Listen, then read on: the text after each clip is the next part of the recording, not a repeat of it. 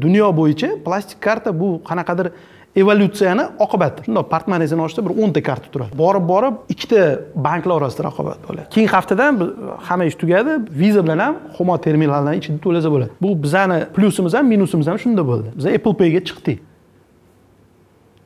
Qo'lni o'sha olovga tiqmaslik uchun bir marta qo'lni kuydirib olish kerakda man o'zi siyosatdan uzoqroq yuradigan odammanda. Endi yosh bola yiqiladi turadi yurishni o'rganadiyu. Bu partiyalar ham hali endi yurishni o'rganyapti. Bu doimiy bahona siyosatdan uzoqlashamiz.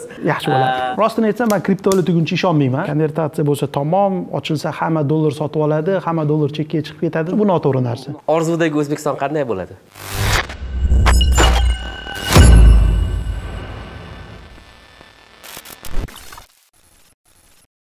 farzandingiz nufuzli xususiy maktabda o'qishini xohlaysizmi? Unda sizni oriental schoolga taklif etamiz. Birinchi sinfdan o'n birinchi sinfgacha bo'lgan davlat ta'lim dasturidan tashqari xitoy arab va fransuz tillaridan ta'lim beriladi. Shuhrat aka assalomu alaykum. Assalomu alaykum.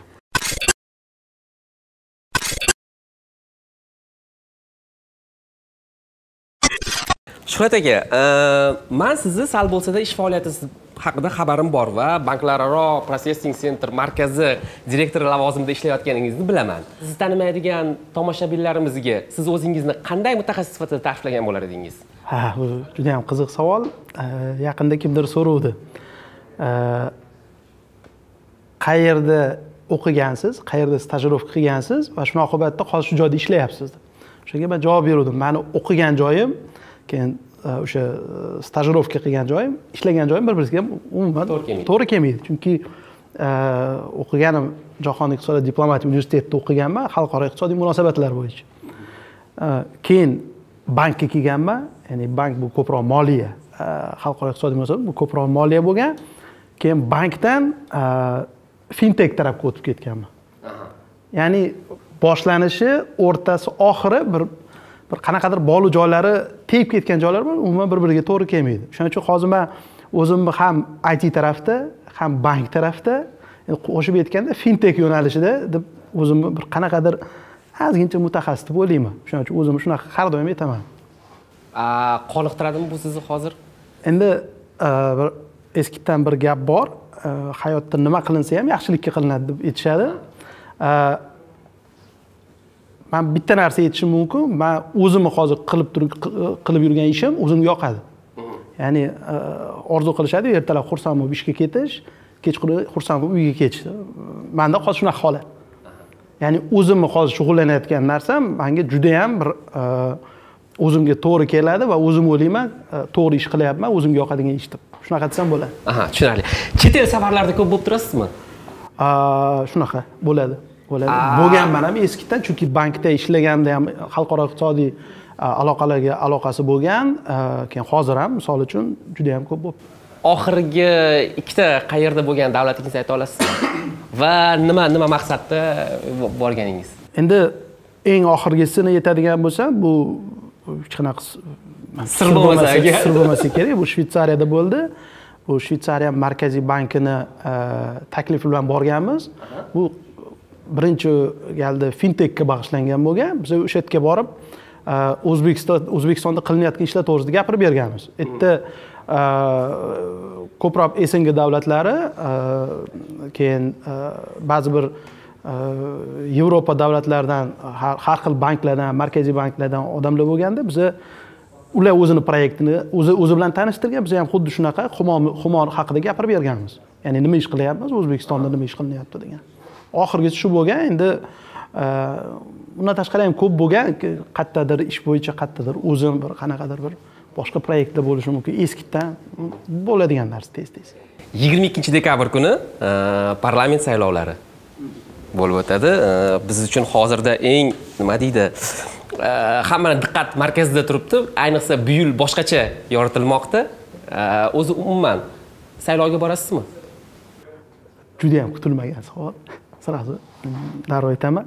Saylovga boraman. Saylovga borganman ham. Saylovga boraman ham. Chunki endi man ko'p joylarda eshitamanda man ishonmayman bormayman foydasi yo'q degan narsani man mani fikrim bo'yicha bormasangiz o'sha foydasi yo'q bo'lib chiqadida ya'ni odam o'zi saylovga bormasa to'g'ri foydasi yo'q. Shuning uchun borish kerak e, ovoz berish kerak. Endi to'g'ri ma'lumot hozir qanaqadir yetarli yetarsiz kamroq bo'lishi mumkin lekin baribir manimcha bu anavi umuman qatnashmaslik bu manimcha protest emasda bu. Bu noto'g'ri narsa. Borish kerakda ovoz berish kerak. O'shanda bir qanaqadir bir e, nima deydi e, qanaqadir reaksiya kutish mumkin. Hech ish qilmasdan bir o'zidan o'zi hammasi yaxshi bo'ladi deb kutish noto'g'ri. Agar hamma borsa o'shanda nimadir talab qilish ham mumkin. To'g'ri ya'ni e, nima deydi? O'zingizni o'zingizni e, pozitsiyangizni o'zizni e, e, o'sha fuqarolik pozitsiyangizni o'sha saylovlar orqali bildirishingiz bu manimcha bu bu- bu burch sifatida ko'raman muhim deb o'ylayman. Chunki nima deydi? Harakat ikki tarafdan bo'ladida. Agar bormay turib uyda o'tirib "Ha, bo'lmaydi foydasi yo'q deganlar qo'ldan chiqadi a o'zi umuman ishonchingiz qanaqa? E, partiya kuza- kuzatyapsizmi sa- saylov oldi e, anaqalarini? Endi bu judayam bir keng savol. Keng savol demayman bir nima desam partiyalar bo'yicha man kuzatyapman. O'zimga yarasha bir qanaqadir e, to'g'ri narsa ham noto'g'ri narsa ham eshityapman. Endi bu bu narsaga o'rganish kerak.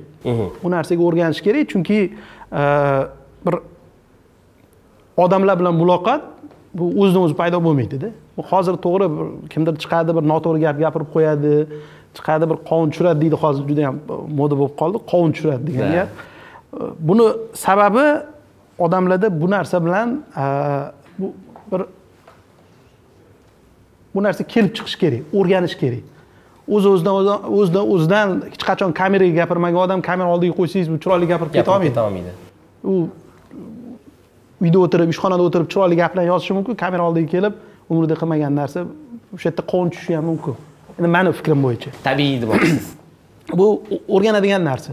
O'rganadigan narsa uning uchun ko'proq o'sha e, partiyalarga ham misol uchun ko'proq televideniye orqali bo'ladimi muloqot orqali bu qovun tushirishlarni siz tabiiy mana tabiiy deb bilaman deb sabab keltiryapsiz Yo'q, yo'q.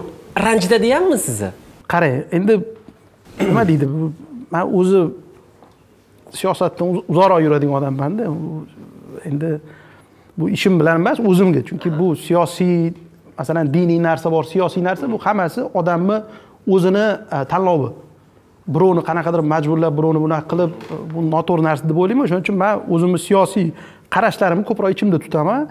Lekin bu tabiiy deganda bu yaxshi yoki yomon emas. Bu e, bir qanaqadir o'rganish chiqish kerakda manimcha bu endi yosh bola yiqiladi turadi yurishni o'rganadiyu. Bu partiyalar ham hali endi yurishni o'rganyapti haqiqatda hamda mani fikrim bo'yicha. Chunki e, endi bir qanaqadir oldin yomon hozir yaxshi yoki teskari deb aytmayapman. Lekin baribir yurishni o'rganish kerak. Bu tepadan bir qanaqadir yo'l berib shu yo'ldan ketsa bu mani shaxsiy fikrim bu ishlaydigan joyimga ham e, deydi e, fuqaro sifatida fikrimni aytamanda ho'p. Siyosatdan uzoqlashamiz. Yaxshi bo'ladi.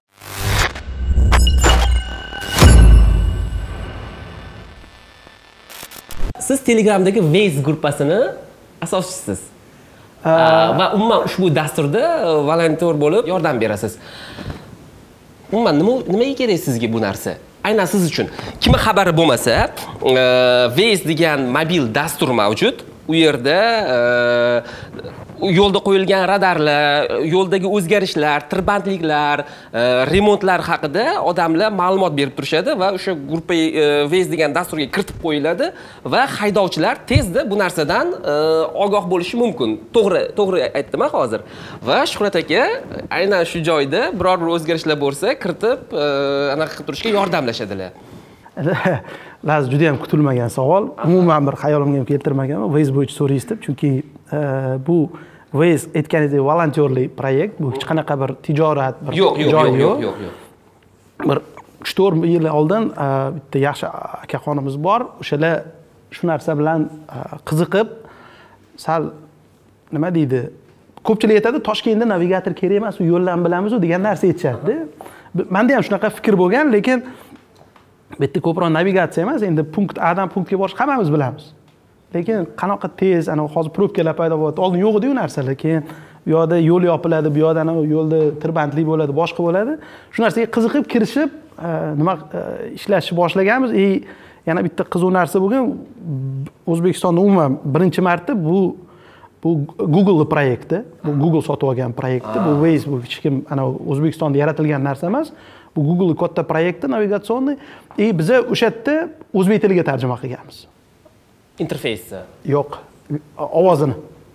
Ya'ni wazni qo'ysangiz sizga masalan navigator qilsangiz chapga aylaning o'ngga aylaning O'zbek tilida deydi gapiradi. o'zbek tilida ayol kishini ovozida chapga aylaning o'ngga aylaning yuz metrdan keyin radar degan narsalarni aytadi. Bu bizani volontyorlik proyektimiz bo'lgan. Endi man u yerda hozir hech qanaqa nima qo'ymayman chunki bu narsani o'sha kim ishlatayot- ishlatayotgan odamlar o'zligi qo'yib o'zligi ishlatadi. Bu yerda hech kim tepadan bir radar qo'yib nima qilib o'tirmaydi ya'ni siz ertaga waze o'zi mobil ilovangizga waze qo'yib ko'chada yursangiz o'zi belgilab ketishingiz mumkin. Masalan bu yerda e, yerda chuqurlik bor bu yerda yo'l yopilgan bu yerda tirbandlik degan narsalar u- yaxshi taraf shunda bo'lganda. Mhm, tushunarli. Э, asosiy mavzuga o'tamiz. Э, nihoyat humo to'lov tizimi bizga nima uchun kerak va nima uchun kontaktsiz to'lov tizimi bu darajada dolzarb? Endi o'ylaymanki hammamizda karta bor. Bor. plastik karta bor. Oylik endi to'qson to'qqiz foiz odamni yuz foiz bo'lmasa plastik kartasi oyligi bilan bog'liq. Bu degani hech kim o'z xohishi bilan uyda o'tirib "E, to'xta naqd ishlatmayman manga plastik kerak deb manimcha hech kim bormasa kerak bankada. Ya'ni bu oylik tushadi ishxonani ochib berishadi. Ya'ni qanaqadir sifatda bu bir bir majburiy degan tushunsa ham bo'ladi. Masalan plastik karta haqida. Lekin dunyo bo'yicha plastik karta bu qanaqadir evolyutsiyani oqibati. Ya'ni odamlar qaysidir payt o'tgan sayin plastik karta bu naqd pulga nisbatan qulay deb tushunib yetishgan. Ya'ni bu qanaqadir evolyutsiya bo'lgan. Bizada ham hozirgi kunda e, endi mani mani fikrim bo'yicha bu narsada biz sal orqada qolganmiz shu vaqtgacha. Chunki har doim aytaman to'rtta bank kartasi bo'lsa sizda u faqat dizayn bilan farq qiladi. Ichi bir xil to'lov anaqasi bir xil. Nima ish qilaman desangiz bir xil bir biridan farq qilmaydi. Ya'ni qaysidir bir e, raqobat elementi yo'q. Ya'ni nimaga bu bankka borib ochaman nimaga bu bankka borib ochaman degan savol yo'q sizda. Da. ya'ni sizga ishxonangiz qayerdan ochsa shu yerda Ishlatib yuraverasiz endi humoni tuzilishidan e, endi ochilishidan paydo bo'lishidan sababidan bittasi bu shu narsa bo'lgan. Ya'ni birinchidan raqobatni vujudga keltirish bu prezident qarori bilan bo'lgan narsa ya'ni o'zbekistonda o'sha bank kartalari yo'nalishida qanaqadir raqobat paydo bo'lsin. Endi manimcha shu qisqa muddatni ichida masalan o'tgan yil oxirida biz e, tashkilot sifatida tuzilgan bo'lsak keyin aprel may oyida biz ishni boshlagan bo'lsak уже qanaqadir raqobatni уже manimcha ko'ryapmiz. Ya'ni oddiy bir xabarlarni ko'rib tursangiz qanaqadir bir banklar ba- banklar tarafdan qanaqadir reklamani ko'rib tursangiz qanaqadir уже qimirlash bor. Birinchidan. Ikkinchidan e, endi ko'pchilik beradi savol nima farqi bor? Manda karta bor nima qilaman? Yana bitta deydi. Har doim unga bir, narsa javob beraman. Masalan chet elliklar bilan ko'p gaplashgan bo'lsangiz shundoq portmonengizni ochsa bir o'nta karta turadi. Da da. Bo'lmasa aytasiz unda viza nima qiladi o'nta kartada?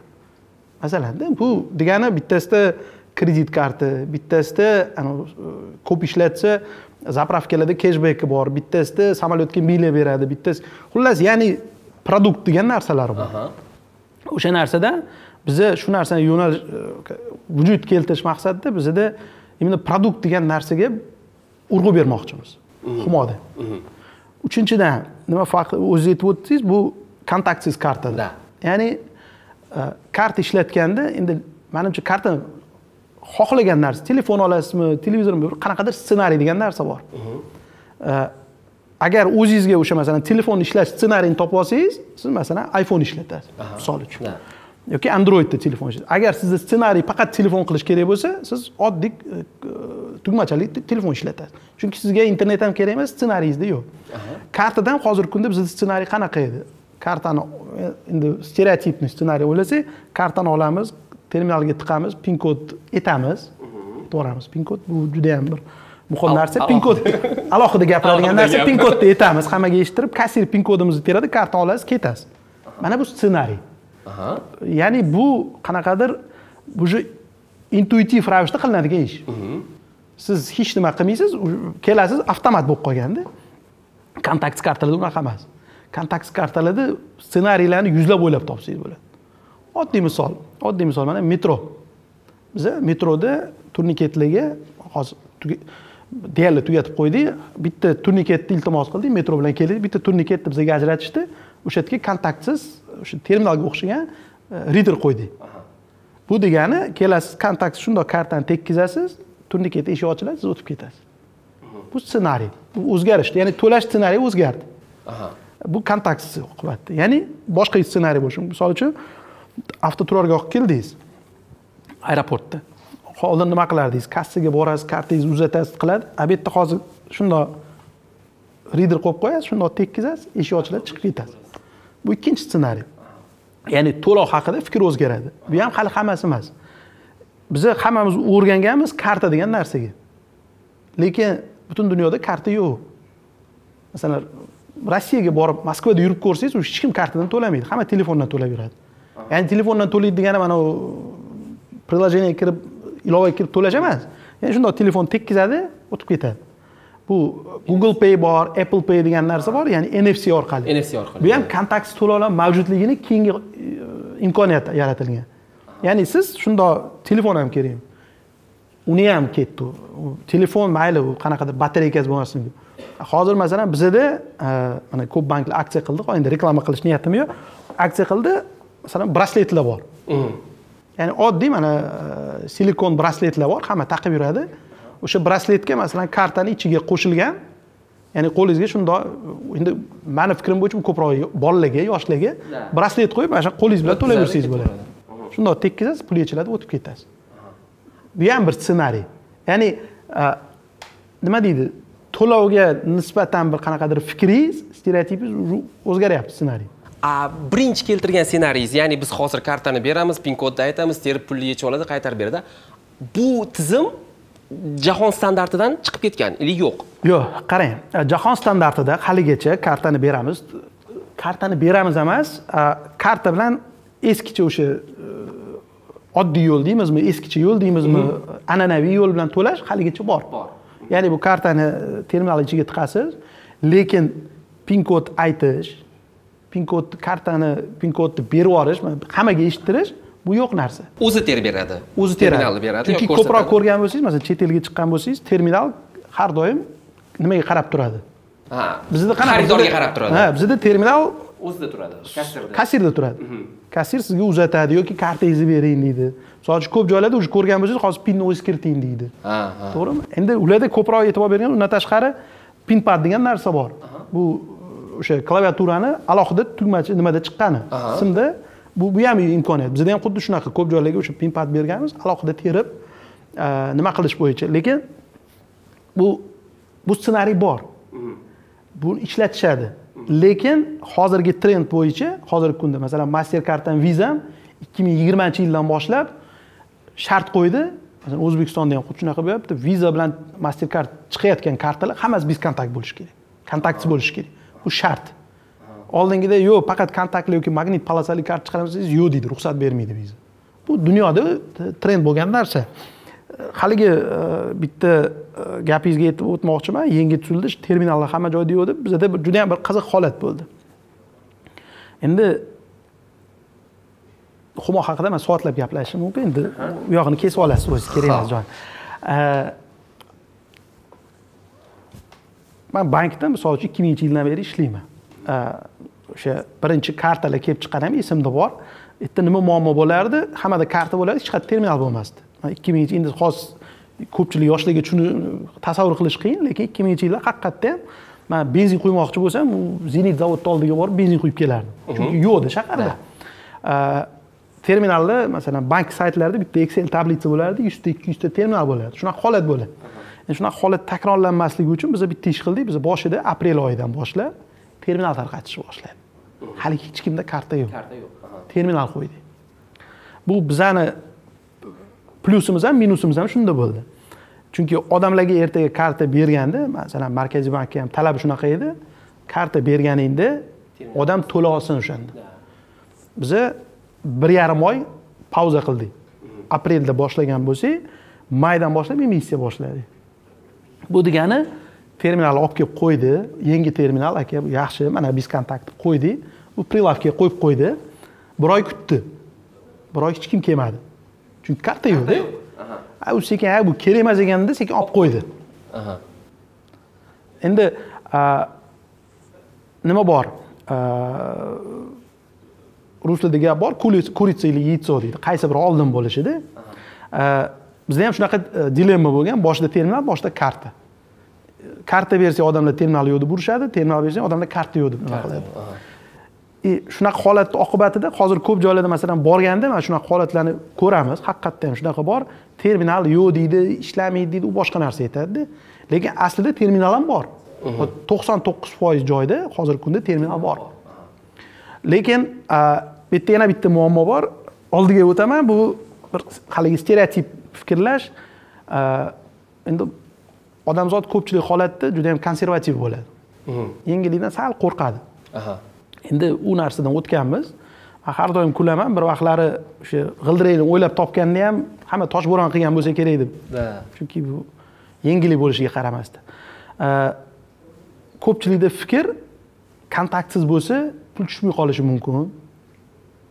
Shunaqa holatni ham ko'rganmanda masalan borganman pul to'layman desam yo'q man kontaktli to'layman biz kontakt olmayman deydi nimaga desa pul tushmas ekan "A, nimaga unaqa deb o'ylayapsan chek chiqyaptiyu hammasi yo'q shunaqa bu stereotip bu o'rganish kerak yangilikka bunaqa holatlar ham bo'ladi endi bu narsa vaqt talab qiladi odamlar o'rganib qolish uchun tushunarli qarang shuhrat aka e, dastavval umuman humo e, o'sha terminallar kartalar umuman to'lov tizimi haqida gap borilganda aytilgandiki biz e, mastercard visa unionpay bilan e, muzokaralar olib boryapmiz va humo terminallarida o'sha kartalarni ham e, qabul qilish e, anaqasi yo'lga qo'yiladi deb aytilgandi.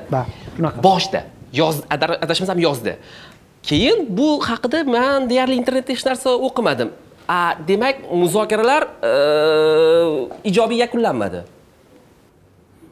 Nimaga unaqa deb o'ylaysiz chunki birinchidan biz nima ish qildik? Biz mastercard bilan visa bilan integratsiya qildik. Sentyabr birinchi sentyabrdan boshlab biz humo bankomatlarida visa kartadan naqd pul berish tashkillashdi birinchi sentyabrdan ya'ni humo logotipi turgan bankomatni ko'rgan bo'lsangiz uchta tizimli nakleykalari ham turadi. U yerda bemalol chet elliklar bankomatga pul tiqib e, kartasini tiqib so'm yetishi mumkin. Mastercardni tiqib? Vizani biz birinchi sentyabrdan qildik oktyabrdan biz mastercard qildik hozirgi kunda bu bankomatda o'sha bank humo bankomat ham viza ham mastercard ham humo kartalari o'tadi hozirgi kunda. Faqat milliy valyutada yechib olish milliy valyutada milliy valyutada chunki bizani fikrimiz bo'yicha endi biz o'ylaganmiz asosiy endi masala turizmda. Ana o'tgan e, o'tgan efirda turizm Ha, haqida ha, gaplashdinglar asosiy muammo turistlarni to'lashi. Ya'ni o'zbekistonga turistlar kelyapti o'sha bir ming ikki yuz dollar dedimi bir ming ikki yuz dollar ishlataman deb kelyaptida ishlatadigan joyi yo'q. Qaytib olib ketyapti. Xuddi shuning uchun biza birinchi galda turistlar o'ylagan sifatida biza so'm beradigan bo'ldik Aha. bu bir. Ikkinchidan biza o'tgan hafta bir haftami ikki hafta oldin bir hafta ham bo'ldi shekilli. Ikki hafta bo'ldi o'zi mastercard bilan press reliz qilib hamma humo terminallarida mastercard qabul qilish tashkillashtirdik. Ya'ni hozir mast humo terminalini turgan bo'lsa ko'rgan bo'lsangiz o'sha joyda mastercard bilan bemalol to'lasa bo'ladi. Ya'ni oddiy qilib mana yonimizda misol uchun makro supermarket bor yoki korzinka bor. O'sha yerga kirib bemalol mastercard kartangiz bilan pul to'lab so'mda yerda hamma narsa so'mda ko'rsatiladi bemalol narsa sotib olsangiz bo'ladi. Bu hali hammasi emas endi endi nima deydi? Yo efirimiz manimcha уже объявление bo'lgandan keyin chiqsa kerak e'lon qilingandan keyin chiqsa kerak. Biza keyingi haftaga vizani ham xuddi shunaqa tashkillashtiryapmiz. Ya'ni o'sha va'da berganimizdek yoz muzokaralar olib borilmoqda. Yo'q.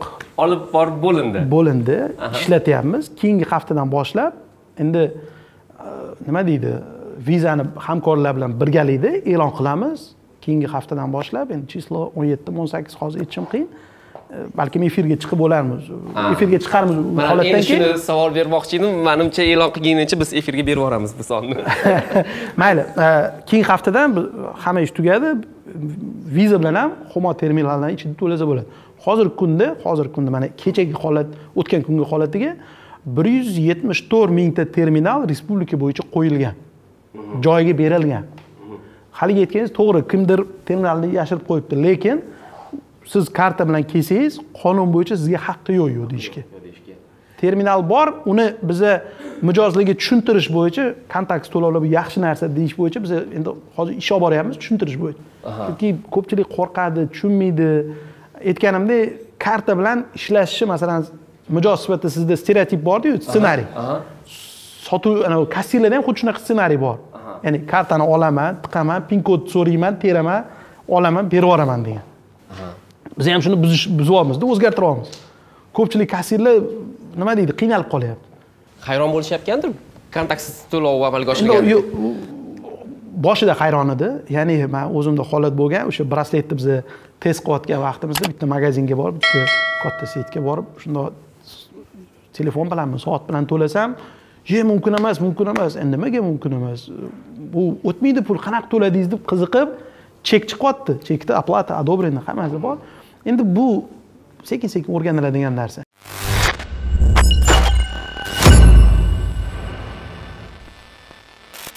Shuhrat aka siz endi umuman shu sohada bo'lganingiz uchun e, bizni ham qiynayotgan savollarni berib ketamanda. Mana masalan man o'zim grafik dizaynerman. И judayam ko'p dasturchilarni и animatorlarni fotograflarni taniyman. Agar xabaringiz bo'lsa stokoviy saytlar bor.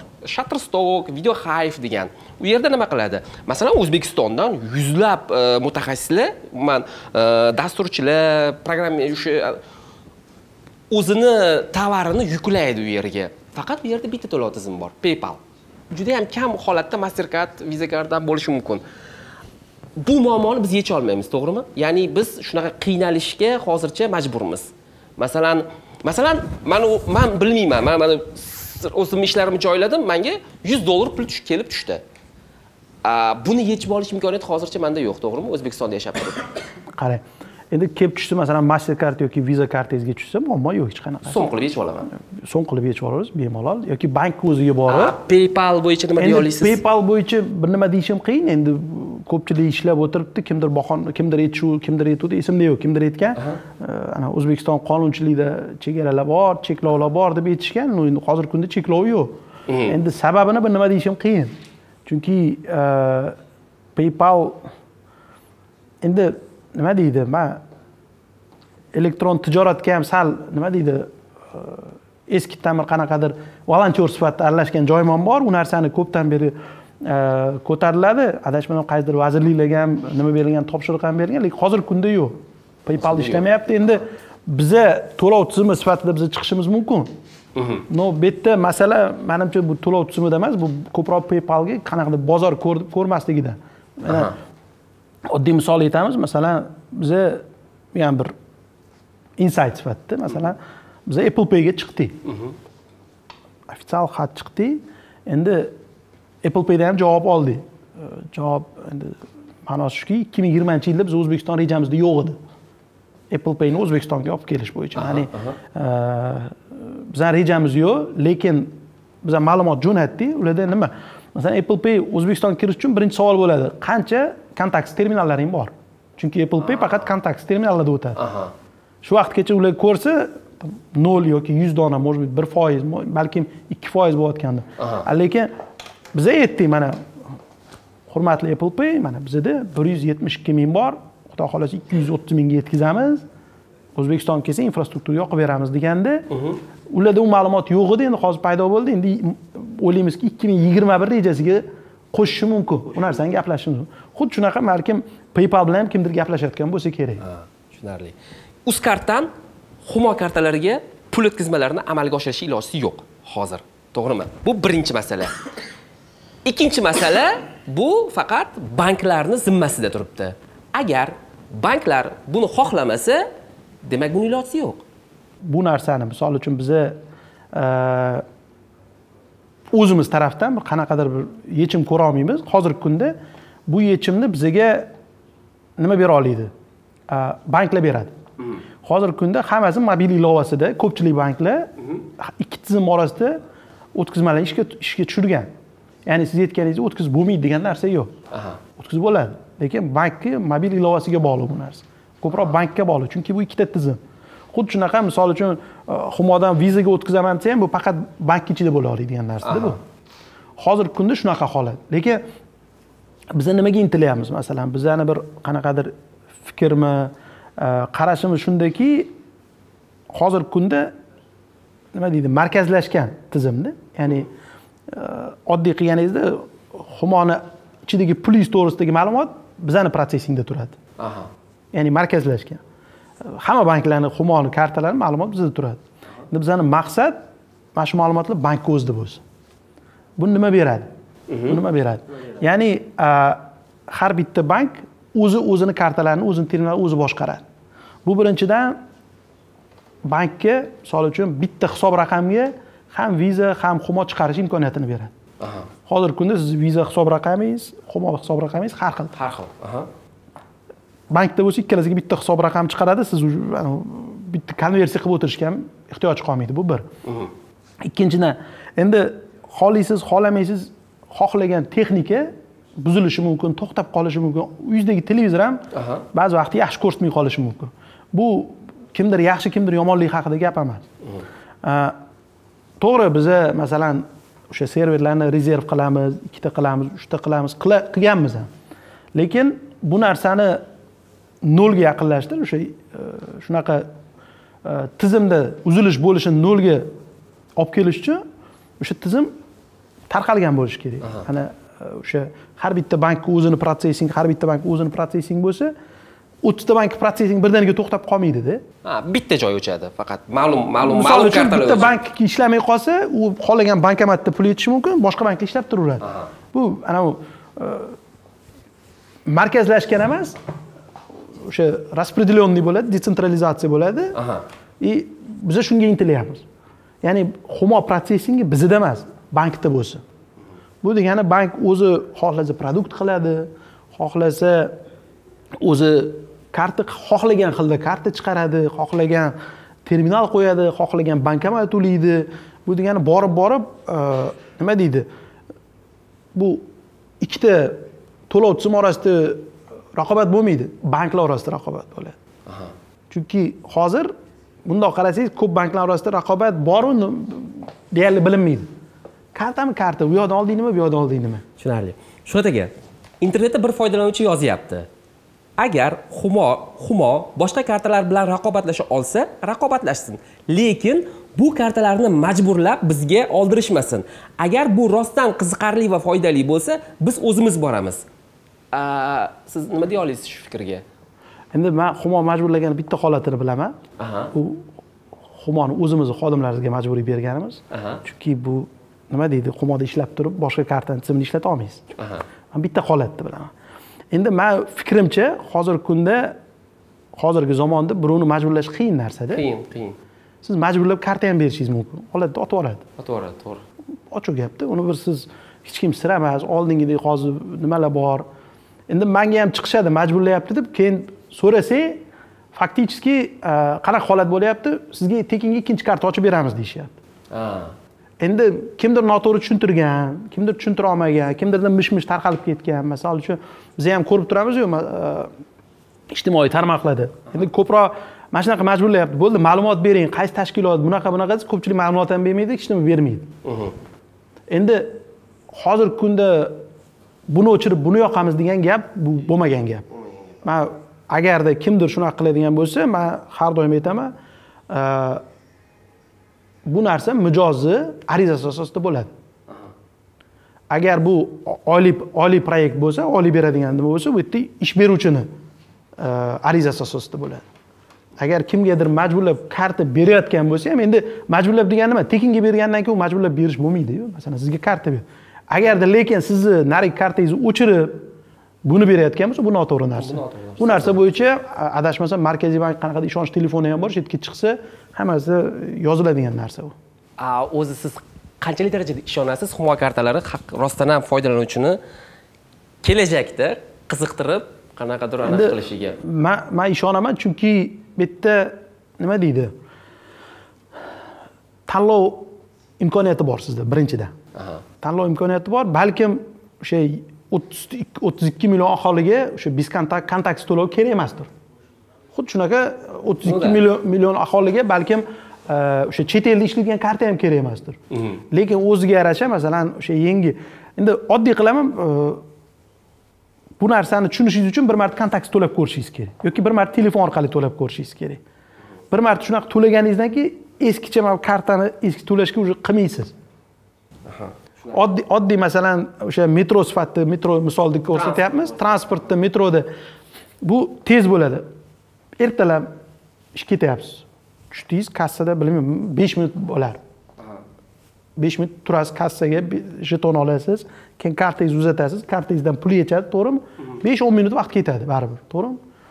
Xuddi shunaqa siz tushasizda kassaga bormaysizda to'g'ri turniketga borasizda to'laysiz o'tib ketasiz o'n sekund shuhrat aka aynan shu transport vositasida man o'qiganimda bir e, savol tug'ildi. Ho'p metro tushunarli. Metroga tushasiz e, bitta turniketni sizga ajratib berishadi to'lab o'tasiz to'g'rimi? Lekin yer ostidagi ustidagi e, jamoat transportlariga bir narsaga tushunmadim. Man o'zim o'sha istanbulda bo'lganimda u yerda rostdan ham ham ko'rganmanda ko'zim bilan metro baslar bor to'g'rimi? U yerda misol uchun metro basni o'zi stansiyasini o'ziga tushayotganingizda to'lab tushib boraverasiz keyin chiqib a bizani infrastruktura hali tayyor emasku bunga. Qanday qilib? Misol uchun yarim yo'ldan chiqayotgan e, avtobusga chiqmoqchi bo'lgan yo'lovchi u qanaqa qilib ishlatish mumkin u narsani? Endi qarang infrastruktura tayyor emas degan narsa bu nima deydi? Bu doimiy bahona. Infrastruktura hech qachon o'zidan o'zi tayyor bo'lmaydi. baribir uni kimdir tayyorlashi kerak endi man ham chet elda ko'p yurganda to'lab ko'rganman. Masalan o'sha germaniyada olganingizda ham shunaqa avtomat bo'ladi. Shunda pulni to'laysizda biletni olasiz o'tib ketasiz. Ko'p joylardan nima vaqtini urib beradi. Validator bo'lib vaqtini urib beradi. Bir soat ichida yuraverasiz. Bu hech qanaqa bir qiyin joyi yo'q. Bu bizda bitta narsa. Endi bu ham mani shaxsiy fikrim. Ya'ni bu nima deydi? Ofitsial fikr bilan shaxsiy fikr bo'lib aytsak bizda ko'proq masalan hozirgi kunda naqd transportda. O'sha hamma naqd to'laydi qanaqadir jeton ham bor deb eshitdimda endi bizda ikkita masala odamlarni to'lashni o'rgatish. Ya'ni hozir chet eldagidek bilet olib kirsang bo'ldi hech kim tekshirmaydi desangiz endi quyonlar ko'payib ketsa kerak misol uchun da. Endi lekin ana unaqa turniket qo'ysangiz u qiyin bo'lib qoladi. Misol uchun ertalab sakkizda ishga ketyapsiz ellikta odam yugurib keldi u turniketda aylanaman desa u to'xtab qoladi avtobus bu yerda ikkita yo'li bor. Birinchidan bu validatorlari bor. Validatorlar bor. Maxsus shundoq tekkizsangiz misol uchun yoki karta yoki transport karta maxsus tekkizsangiz u yerda bilet chiqadi olasiz kontrolyor tekshiradi. Ikkinchi yo'li o'sha oddiy terminal bilan yuradi terminal bilan xuddi shunaqa tekshiradi. Ya'ni man aytmoqchi bo'lganim bu yerda yangitdan g'ildirak o'ylab topish shart emas. Bu butun dunyo qilgan narsa. Qo'shni davlatlarda ham bor. Masalan qozog'istonga borsangiz ham bemalol to'lab ketaverasiz uni bir qiyin joyi faqat bir qanaqadir odamlarni o'rgatib o'sha bilet olishi protsedurasini osonlashtirsangiz bo'ldi. Ya'ni borib maxsus bir qanaqadir joyga borib bilet olasan desa hech kim bormaydi. Agarda har bitta остановка o'sha avtomat turib bilet olib chiqadigan bo'lsa manimcha hech qanaqa muammosi yo'q bu narsa. Bu nima deydi? Bu anavi odamni marsga yuborish emas. Bu qanaqadir nima deydi anavi cern qiladigan ish emas. Qanaqadir bir atomni bo'lish degan. Nima uchun e, tadbirkor e, umuman tadbirkorlik subyektlari humo yoki uzcard terminallarini o'zlari sotib olib ro'yxatdan o'tkazib ishlata olishmaydi bizda? Endi man uzcard bo'yicha hech nima deya olmayman lekin qarang e, hozirgi kunda misol uchun bizada humoda boshida aytganmiz ochuv infrastruktura deganmiz. Ya'ni xohlagan terminalni ulasa bo'ladi endi xohlagan terminal ulasa bo'ladi degani endi terminalni texnik til nima qilsangiz o'zini tili bor gaplashadigan ya'ni ko'chadan olib terminal qilib ulasangiz bo'lmaydi. To'g'ri lekin biza masalan hozirgi kunda bir uchtami to'rtta ishlab chiqaruvchilarni terminallarni biz o'zimizda ishlatamiz. Misol uchun bu dunyoda birinchi o'rinda turadigan Ingenico degan kompaniya bor fransiyalik keyin verifon degani bor kompaniya u ham ishlayapti. Hozir yana ikkita uchtalar chiqdi. Lekin bitta narsani inobatga olish kerak hozirgi kunda bu narsani bizda shunaqa tizim qilinganki banklar o'zi sotib olgan. Endi bank sotib olgandan keyin bank bitta emas yuzta mingtalab sotib oladi. Ularni sotish kerak. Yo'q gap sotishda emas. Endi siz magazinga borib bitta olganingizni narxi bir. Mingta olganingizni narxi bankka arzonroq tushadi bankka arzonroq tushadi masalan biza humo ishlaganda biza ham bir sotib oldik. Biza bank sotib olganlar ham ikki barobar arzon sotib oldik. Hozirgi kunda biza terminallarimiz bu bunaqa narx hech kimda bo'lmagan men qimirlab qoldik qilib olaylik ozgina Yo'q, normal ketdi. qimirlab qoldi zaryadkalaringlar bormi Ha, hammasi joyida. shunaqa insayderskiy ma'lumotlar qachon berasiz. Berdilar, Apple applega chiqamiz googlega chiqamiz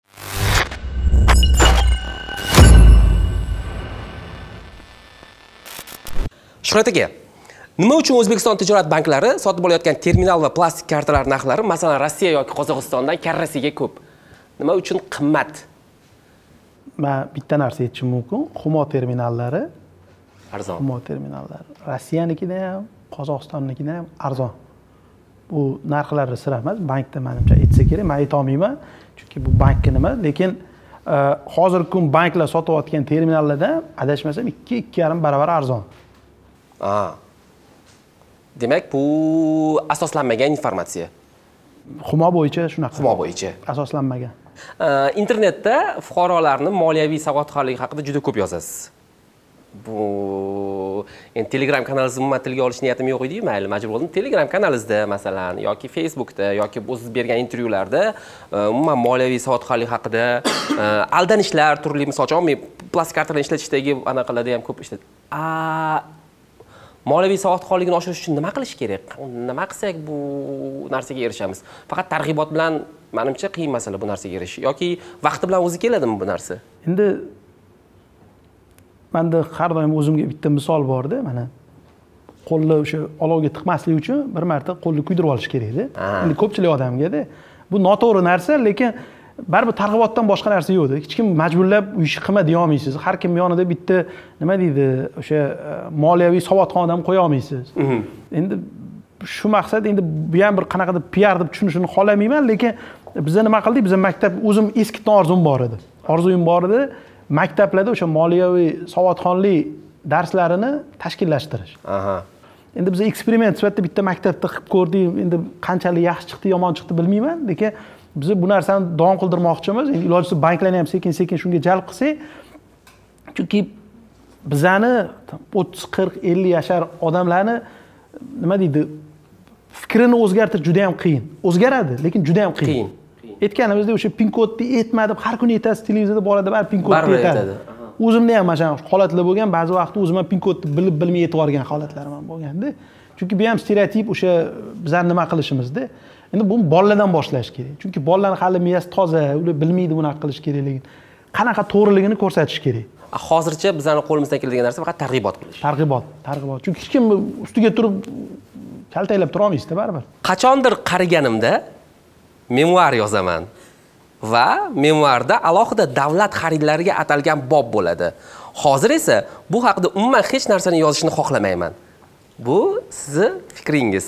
Ayta olasizmi davlat xaridlari bo'yicha qanday muammo sizni bu darajada ranjitadi? Endi birinchidan qaramadim hali. Memuarni boshlamadim. Chunki Qisqacha qilib aytib keting. memuarga qolish kerak. Yo'q endi qisqacha tema qanaqa? Bu bir narsa bo'lishi kerak. Odamlarga haligi aytgan gapimizda odamlarga bir bir nimani osonlashtirish kerak. Hozir qiyin. Bu shunaqa desa ham bo'ladi. Qanday amalga oshiriladi? Hozir siz sal anaqa berib keta olasizmi? Yo'q endi bu narsaga gapirishim sal noto'g'ri bo'ladi. Lekin aytamanu mani fikrimcha odamlarga qancha osonlashtirsa shu to'g'ri yo'l bilan yuradi. Qancha qiyinlashsangiz u nima deydi noto'g'ri yo'l bilan yuradigan odam u mingta imkoniyat qiling baribir noto'g'ri yo'l bilan yuradi to'g'ri yo'lga intiladiganlarga oson chiroyli bitta yo'l qilib berish kerak shunda yaxshi bo'ladi shuhrat aka uh, telegramdagi kanalingiz anonim bo'lib qolishni xohlaysizmi yoki bu umuman uh, man nima uchun bu savolni beryapman agarda anonim bo'lib qolishini xohlasangiz bu- joyni kesamiz qoldirib ketamiz telegramdagi kanalni endi humoga umuman aloqasi yo'q chunki bu anavi это umuman boshqa nima nima deydi? Ishdan tashqari bo'lgan narsa bu hobbi deyiladi boshqa deyiladi. Endi man niyatim shaxsiy bilan aralashtirmaslik. aralashmagani yaxshi. Aha. Tushunarli. Просто e, telegram kanalda nima uchun reklama bermaysiz degan savolni e, juda yam xohlashgandi. Mani tanishlarim berib ko'rishdi ushbu intervyu haqida ma'lumotga ega bo'lishgandan keyin reklam e, qarang bu aytganimdek hobbi o'zimga qanaqadir fikrlarim. Man rostini aytsam hayron qolaman shuncha odam o'qiyotgan manimcha u yerda yuztadan odamga вообще qiziq bo'lmasligi kerak edi. Lekin qayerdan shuncha odam kelganini bilmayman. Rostini aytaman haligacha. Chunki man yozishim ham birinchidan ruscha yozaman ikkinchida tili qiyin erta ko'pchilik tushunishi uchun. Iqtisodiy. Iqtisodiy bo'ladi ko'proq o'sha moliyaviy savodxonlik bo'ladi. Lekin bu alohida bu hech qanaqa tijorat proyekti emas. Ya'ni manga yerda hech qanaqa bir nima? Emas fikr ulashish bo'ldi. O'shanga reklama desak uzr yo'q deyman. Chunki bu tijorat hech qanaqa aloqasi yo'q. Chunki tijorat al- aralashsa уже sal nimasi o'zgaradi deb o'ylayman. Endi funksiyasi o'zgaradi deb o'ylaysiz. Funksiyada ham emas. Endi nima deydi? Bir asosiy nimaga ta'sir qiladi deb o'ylayman. Tushundim. Kriptovalyutalar kelajagiga qanday qaraysiz? O'zi umuman qiziqib ko'rganmisiz hech bir shunaqa davr bo'ldi adashmasam uch yil oldin juda yam bir yarqirab chiqdi ikki yil ikki yil oldin mana iqtisodchi sifatida qanday qaraysiz kriptovalyutalar kelajagiga rostini aytsam man kriptovalyutaga ishonmayman. Ishonmaysiz. Qaysi ma'noda? Kriptovalyuta hozirgi kunda bu ko'proq hayp.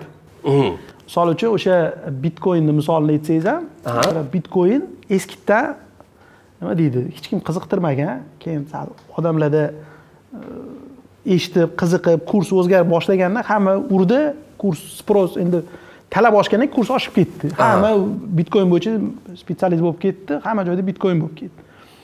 Keyin hamma насыщение bo'lgandan keyin pastga tushdida. Endi qaysi ma'noda qarayman oddiy valyuta almashtira olmaydi. Almashtira olmaydi hech qachon. Yo'q chunki e, valyutada masalan har xil tranzaksiya qilganingizda valyutani stabilligi juda yam bir kuchli faktor. Aha ya'ni siz masalan hozir qanaqadir operatsiya rejalashtirgan bo'lsangiz iloji bo'lsa siz o'shani bir kursini ham bir qanaqadir reja bir qilib bir ko'ra olsangiz bila olsangiz qanaqadir o'ylab olsangiz o'shanda siz qilasiz. Agarda bugun tovarni o'n dollardan sotib oldingiz misol uchun ertaga bitcoin narxi oshib ketdida o'n ming dollar bo'lib qoldi esingizda bo'lsa anavi ikkita bitcoinga bitta pitsa sotib olgan. Esimda katta istoriya bor hozir o'ylab qarasangiz qirq ming dollarga ikkita pitsa sotib olgan bo'lib qoladi. Bu judayam anavi e, ruscha tranzaksionniy издержки deydida bu nima deydi bu qulay emas o'zi bir vaqtida eskidan o'zi bu narsa boshida o'sha qonundan uzoqroq tranzaksiyalar uchun kelib chiqqan narsada chunki bu yerda to'liq anonimlik bor hech kim bilmaydi kimligini nimasini ya'ni uni o'sha fleshkaga kошелек nima qilib berib yuborib hisob kitob qilsangiz bo'ladi o'sha narsadan kelib chiqqan narsada boshida. A keyin уже hayp bo'lib bu narsa bir qiziqib ko'rsangiz ikki minginchi yilda adashmasam yo to'qsoninchi dot com degan narsa bo'lgan. Ya'ni a, o'sha internet kompaniyalar rivojlangan hamma aksiyalar nima qilib katta puzir bo'lib yorilgan. U dot com puzir deydi bu narsa bu ham xuddi shunaqa narsa manimcha. A sizda bormi birorta? Umuman yo'q. Umuman qiziqib ham ko'rmagan qiziqib ham olishga ham harakat qilib ko'rmagansiz aha tushunarli. Davlat to'rt yuz sakson to'rt ming dollar topish uchun nima qilish kerak o'zbekiston sharoitida? Bizani jonajon rubrikamiz. Davlat to'rt yuz sakson to'rt ming topish uchun o'zbekistonda bilmadim lekin. To'rt yuz sakson to'rt ming o'zbekiston o'zbekistondan chiqib boshqa joyda qidirib ko'rish kerak lekin o'zbekistonda bir e, davletov topishiga man ko'zim yetmaydi. Sizda shuncha pul bor? Yo'q. Bu sizni ranjitadimi? Yo'q. Ranjitmaydi aha.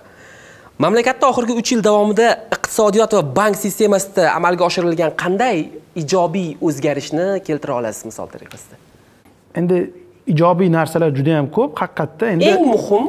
Endi man uchun eng muhim bizani masalan o'sha oxirgi o'n yil qo'rqitib kelishgan bu konvertatsiya masalasi. Ya'ni konvertatsiya bo'lsa tamom ochilsa hamma dollar sotib oladi hamma dollar chekkaga chiqib ketadi deb. Endi qanaqadir normal holat bo'lgan qo'rqib. Yo'q konvertatsiya lekin mana ikki yil oldin konvertatsiya ochishdi. Hech kim hech qayerga ketmadi. Qarashsa o'sha to'qqiz ming to'rt yuzdan dollar hech kimga kerak ham emas endi kerak unaqa emas. Chunki hammaga o'sha to'rt ming ikki yuzdan kerak edi dollar. Bozorda to'qqiz ming to'rt yuz vaqt to'rt ming ikki yuzdan kerak edi farqi uchun. Haqiqatdan dollar kerak odam u unda ham olgan hozir ham olib u bir qanaqadir всплеск bermaganda ya'ni bu ko'pchilik uchun manimcha syurpriz ham bo'ldi. Yaxshi syurpriz ma'nosida chunki konvertatsiya bo'ldi. Hech qanaqa muammo yo'q. Yo- yoki nima обменный punktlarda очередьlar ko'ryapsizmi? Yo'q. ana odamlar ur yiq dollar oladi. Birinchisi konvertatsiyani ochilishi. Yana qanday misol keltira olasiz man e, endi e, bank yo'nalishidan kelib chiqib shu narsani aytyapmanda. Ikkinchidan endi nima deydi? Bu qanchalik to'g'ri bo'ladi? Bu butun tizimni yasharishi. O'rtacha yosh Kadrlar, kadrlar nazar qarasangiz bu davlat masalan hukumatda bo'ladimi boshqa joyda bo'ladimi farqi yo'q. Banklarni hamma joyini qarab qiziqib ko'rsangiz o'rtacha yosh past ketyapti. Pastga ketyapti to'g'ri bu bu. bir qanaqadir yaxshi bir imkoniyat. Ya'ni bir yangi fikrlarga bir imkoniyat yaratadi ya'ni bir boshqacha fikrlashga. Chunki a, xohlang xohlamay bir qaysidir si- tizim ichida yursangiz o'sha tizimdek o'ylab boshlaysiz. Ya'ni o'sha mana shunaqa tunnel bo'lsa bunaqa hech kim bunaqa qaramaydida.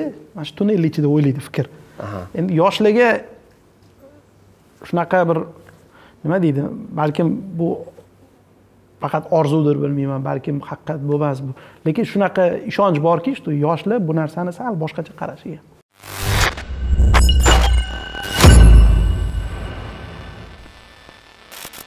o'zbekiston yevrosiyo ittifoqiga iqtisodiy ittifoqiga qo'shilishiga qanday qaraysiz? Bu sizni ko'proq xavotirga soladimi yoki plyus taraflarini ham ko'rasizmi? Endi hamma narsani plyusi bilan minusi bor.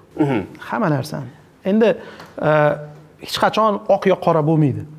Endi e, umumiy nima baholashni aytmayman umumiy baholashni o'ziga yarasha plyuslari bor o'ziga yarasha minuslari bor. E, kimgadir plyus ko'proq ko'radi kimdir ki- minusini ko'proq ko'radi. Keling bo'lmasam faqat plyusini sanab ko'ramiz. Nima uchun so'rayapman? Mana masalan manga qiziqda agar ushbu ittifoqqa qo'shilsak mana masalan man namangan viloyatining chuqurg'on tumanida qirg'iziston bilan chegaradosh e, hududda yashayman. Man ko'mir sotib olib olib o'ta olmaymanmi chegaradan agar ushbu ittifoqqa qo'shilsak. Endi ittifoqqa qo'shilishi o'sha plyus sifatida gapiradigan bo'lsangiz bu qanaqadir yagona qoidalar. Ha bu bu tarafidan plyus ya'ni bizada ko'rgan bo'lsangiz mana elektromobilga pochta kiritiladi olib tashladi qo'shiladi kiriladi bir qanaqadir masalan o'sha invest- investorlar sifatida qaraydigan bo'lsak bu investorlarga bir tushuncha kerak. Misol uchun bir rejalashtirish imkoniyati kerak uch yilga. Misol uchun o'zbekistonga kirmoqchiman masalan besh yil oldingi bilishim kerak. Besh yildan keyin o'zbekiston qayerda bo'ladi.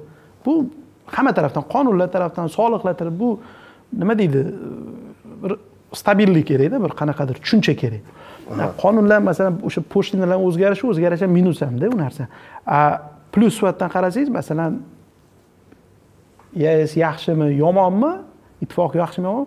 Bu yerda bir qonun qoidalar bo'ladi ya'ni yagona qonun qoidalar o'shalar bo'yicha biz ishlaymiz. Ya'ni har kuni o'zgarmaydi. Bu yaxshi taraf manimcha.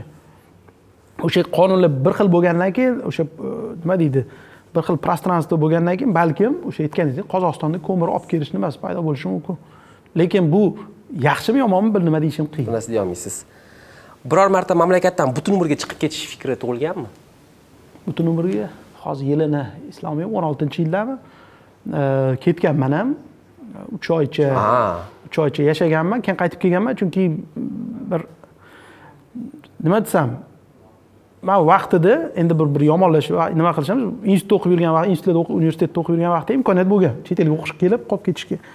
Lekin shunaqa fikr bo'lgan hamma ketib qolsa bu yerda kim qoladi degan fikr bo'lgan. Bu bir qanaqadir bir egoistik bo'lishi mumkin. Lekin hamma ko'chib ketsa bu yerda kim qoladi bu yerda nima kimga qoladi bu to'g'irlash deganda? Man uch oycha yurganman ham e, keyin qaytib kelganman baribir u yoqda bo'ldi bo'lmadi emas baribir endi nima deydi? U yoqda yurolmas ekanmanda qaysi davlat? E, latviyada yurganman uch oy. Latviyada ketib o'sha yerda endi bu nima Tushunarli. qilmaganman? Orzudagi o'zbekiston qanday bo'ladi? Orzudagi o'zbekiston qonun ustuvorligi bor o'zbekiston orzudagi o'zbekiston. Ya'ni qonun nuqta. Tushunarli ushbu loyihamizni keyingi sonlarda kimni ko'rishni istagan bo'lardingiz? Masalan o'zizga tanish bo'lgan va ushbu odamlar uchun bizani auditoriyamiz uchun qiziq deb o'ylaydigan kadr qandaydir? Endi bir nima deyishim qiyin rostini aytsam chunki e, mana o'sha hamma sonlarni ko'rib boraman har safar syurpriz bo'lgan. Gap chunki bilmoqchi bo'lganmiz bu kim bu kim deb lekin manimcha manga syurpriz bo'lib qolgani yaxshi. Nima deb o'ylaysiz? Bizani tomoshabinlarga siz ham syurpriz bo'larmikinsiz E, endi syurpriz bo'lishi aniq chunki sizda birinchi ikkinchi uchinchi bu yoqdan odam kelyapti. Endi qanchalik qiziq bo'ladi bilmayman. Endi mani o'zimcha endi missiya demayman. Mani maqsadim bu yoqqa kelishi. Odamlarga tushuntirmoqchi bo'ldim. Bu qo'rqinchli narsa emas. Ko'pchilik internetda ham paydo bo'ldi anavi o'sha kontaktsiz to'lovlar bo'yicha esingizda bo'lsa anavi qo'rqinchli cho'ntagingizdan yechib ketar ekan magnit bor ekan wi fi bor ekan degan ko'rganmisiz u videoni aynan shu intervyuga tayyorgarlik ko'rayotganimda savollarni yozib o'tirganimda ishxonamizdagi bir tanishimiz keldida bu o'qib turib a bu cho'ntagingga agar solib olgan bo'lsang anaqani kelarkanda terminalni bundoq tegizsa e, puling o'tib ketar ekan degan fikrni berdi. odamlarda shunaqa anaqa bor. odamlarda shunaqa narsa bor. Endi bu bu normal holat rossiyada ham xuddi shunaqa bo'lgan. O'zi bu e, asoslangan narsa. Qarang endi e, oddiy qilib tushuntiraman birinchidan birinchidan terminal endi texnologiya haqida. Texnologiya o'sha kartani tekkizsangiz ellik ming so'mgacha yechish terminalga bu texnologiyada ishlaydi. Bu vizada ham shunaqa master kartda ham ularda ellik dollar bizada ellik ming so'm. Farqi birinchidan. Ikkinchidan terminal kartaga uch santimetrgacha tegishi kerak.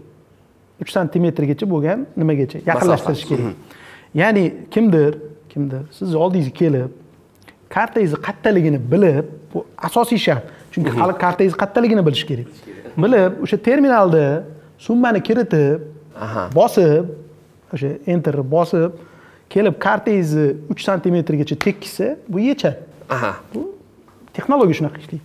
Lekin bitta narsani hamma asosiy esdan chiqaradi. Birinchidan terminal ishlashi uchun kartadan pul yechish uchun bu tizimga ulanishi kerak ya'ni uydan terminal ko'chadan terminal topib oldim ishlab ketadi degan gap emas. Ah. ya'ni terminal humo tizimiga ulanishi kerak.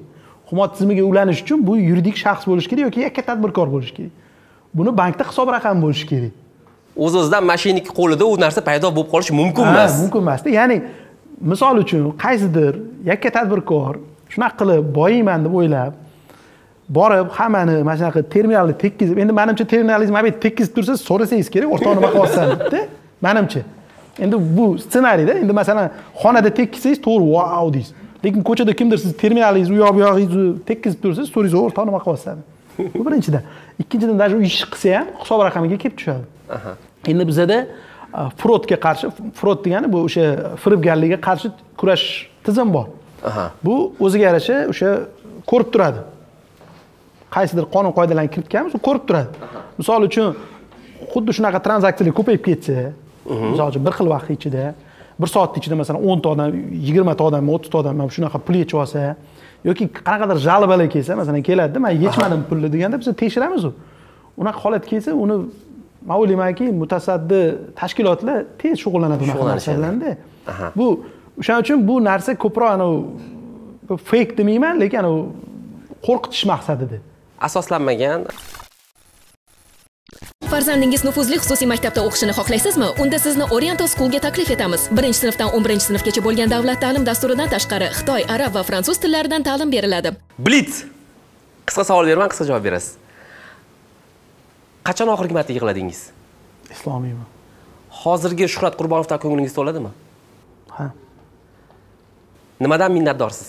Man o'zim hozirgi kunda turishimdan minnatdorman. Hamma narsadan. Xudoga shukur deyman har doim qaysi xatoyingizni boshqa hech qachon takrorlamagan bo'lar edingiz? Endi manimcha har bir xatoyim bu o'zimga yarasha bir qanaqa tajriba. O'shaning uchun bir nimani o'zgartirish niyatim ham yo'q. Qaysi savolga o'zingiz javob berishni istagan bo'lardingiz lekin bu savolni sizga hech qachon berishmaydi? Man shuncha savol eshitganman u rostini aytsam bir berilmagan savolni ham bir qanaqadir aytish qiyin o'zbekistonni sobiq ittifoqdan chiqqan qaysi davlat tutgan yo'lni tutishni istagan bo'lar edingiz endi hozir gruziya juda yam trendda. Gruziya. Agar sizdan boshqa hech qachon ishlash talab qilinmasa o'zingizni baxtli his qila olasizmi? Yo'q. Nimadan afsuslanasiz? Hech nimadan. Man har doim o'zimga kredo qilganman nima ish qilinsa ham yaxshiligiga degan shuning uchun shu vaqtgacha bir narsadan ham afsuslanmadim shuhrat aka ajoyib suhbat uchun rahmat kattakon rahmat